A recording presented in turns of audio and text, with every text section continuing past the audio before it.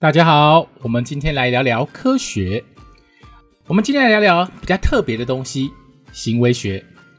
狗狗是人类最好的朋友之一，了解它的习惯，了解它的语言，一直以来是很多事主想做的事情，并且在行为学家也很想了解这种陪伴我们很久的动物到底在想什么。狗狗有很多的行为，其中一种很特别的行为就是它会歪头。这是一个非常可爱的动作。当狗狗歪着头看着你的时候，会让人家觉得萌萌的，非常的可爱。而在网络上有非常非常多狗狗歪头的影片，喜欢狗狗的人应该都不会错过，应该都会觉得这个动作超级的可爱。不过，有人想过为什么狗狗会歪着头看着你吗？为什么会有这一篇文章呢？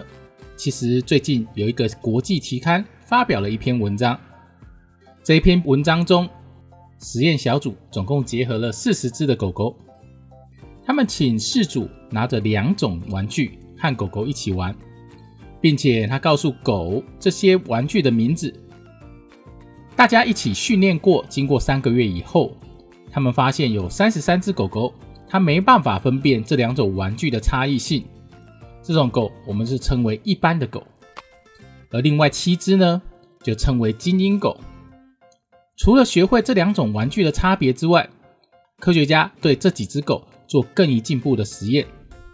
科学家发现了，这几只狗除了分辨这两种玩具之外，甚至可以分辨十几种玩具，而且并且有一只狗可以说是狗中的天才。这一只狗可以分辨高达一百六十种以上的玩具的名称，所以。它算是狗中的天才。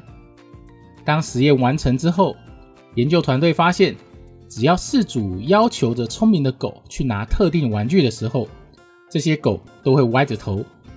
研究团队最早认为，狗狗会歪着头可能和听觉是比较有关系的。就像人如果听不清楚某件事情的时候，你总会歪着头想一下。不过，在狗狗的行为学上，其实歪着头可能代表另外一个意思。由实验完成以后，这些狗都会歪着头。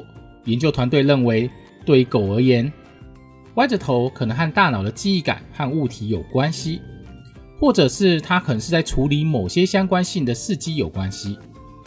简单来说，狗狗可能是在专心思考，或者是集中注意力。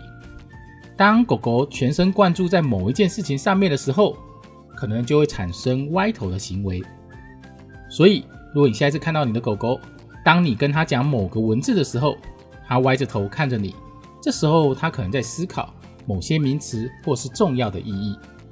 随着科学的研究，我们可以越来越了解我们的毛宠物。感谢您的收看，我们下次见喽！如果你想要看到原文的话，我会把它放在说明的地方，会放入相关的连结。虽然是一个原文的论文，不过还是可以看一下的。我们下次见喽，拜拜。